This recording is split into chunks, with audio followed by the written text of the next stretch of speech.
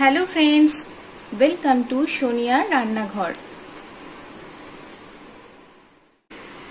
আজ আমি আপনাদের সঙ্গে শেয়ার করব একটা দারুণ স্বাদের ম্যাঙ্গো আইসক্রিমের রেসিপি আমাদের হাতের কাছে থাকা খুব সামান্য উপকরণ দিয়েই আজকের এই ম্যাঙ্গো আইসক্রিম আমি বানাবো। চলুন তাহলে দেখে নিই কীভাবে বানাবো ম্যাঙ্গো আইসক্রিম নিয়েছি আমি পাঁচশো এমএল দুধ। দুধ আমি ফোটাতে দেব। ওই দুধের থেকে কিছুটা আমি একটা বাটির মধ্যে নিয়ে নিয়েছি। এখন এর মধ্যে আমি দু চামচ কর্নফ্লাওয়ার দিয়ে দেব। এবং ভালো করে মিক্সড করে নেব। নিয়েছি দুটো মিডিয়াম সাইজের পাকা মিষ্টি আম। এই আমটার এখন আমি পিউরি বানিয়ে নেব। দুধ এভাবে নেড়ে চেড়ে খুব ভালোভাবে কিন্তু ফুটিয়ে নিতে হবে। এবং চার ভাগের এক ভাগ ফুটিয়ে কমিয়ে নিতে হবে। দুধ কিন্তু ফুটে অনেকটা কমে এসছে। এখন এর মধ্যে আমি দিয়ে দেব দু চামচ চিনি।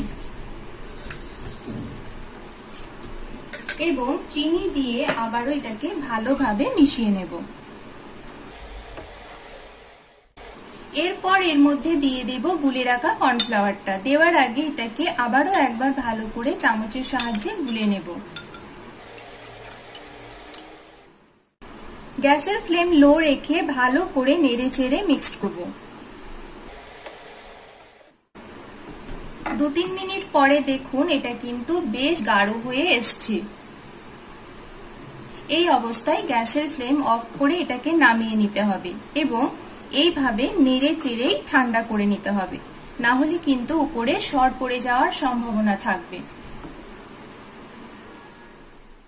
আমটা সুন্দরভাবে পিউরি বানানো হয়ে গেছে। দুধ এবং কর্নফ্লাওয়ারের মিশ্রণটাও কিন্তু ঠান্ডা হয়ে গেছে। এটা এখন আমি এর মধ্যে দিয়ে দিচ্ছি।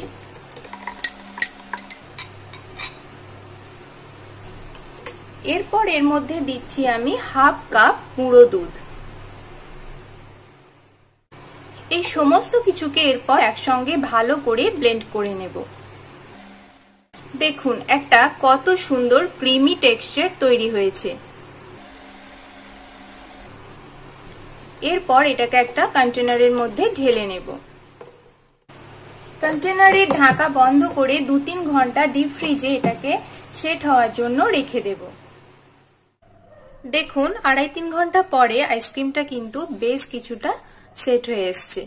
এখন এটাকে আবার একটু ভালো করে ব্লেন্ড করে নেব। এর ফলে আইসক্রিমটা অনেক বেশি স্মুথ এবং ক্রিমি হবে। এর টেক্সচারটা ব্লেন্ড করার পরে কতটা ক্রিমি হয়ে গেছে দেখুন। এবার এটাকে পছন্দ মতো কন্টেনারে ঢেলে নেব। আমি এরকম তিনটে জায়গা নিয়ে নিয়েছি, এখন ঢেলে নিচ্ছি।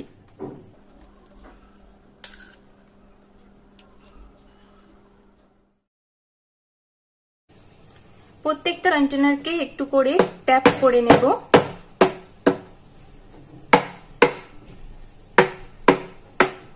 এবং উপর থেকে দেব একটু করে কাজু এবং আমন্ডসের গুঁড়ো।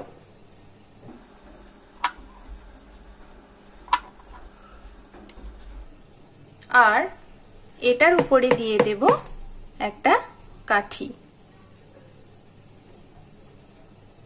ব্যাস। এবার কন্টেনারে ঢাকা বন্ধ করে ডিপ ফ্রিজে সাত আট ঘণ্টা রেখে দেব বা ওভারনাইটও রেখে দিতে পারেন। দেখুন, প্রতিটা আইসক্রিমই কত সুন্দরভাবে জমে গেছে।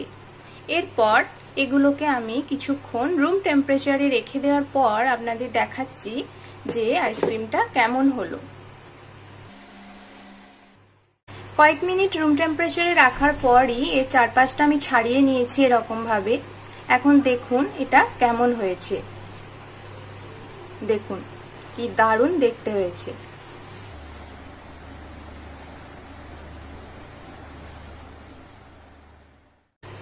আর এটাও দেখুন, কত সুন্দর হয়েছে।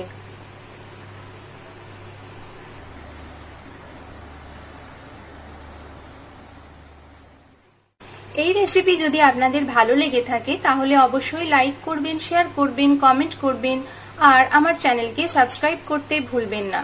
ভালো থাকবেন, সুস্থ থাকবেন। ধন্যবাদ।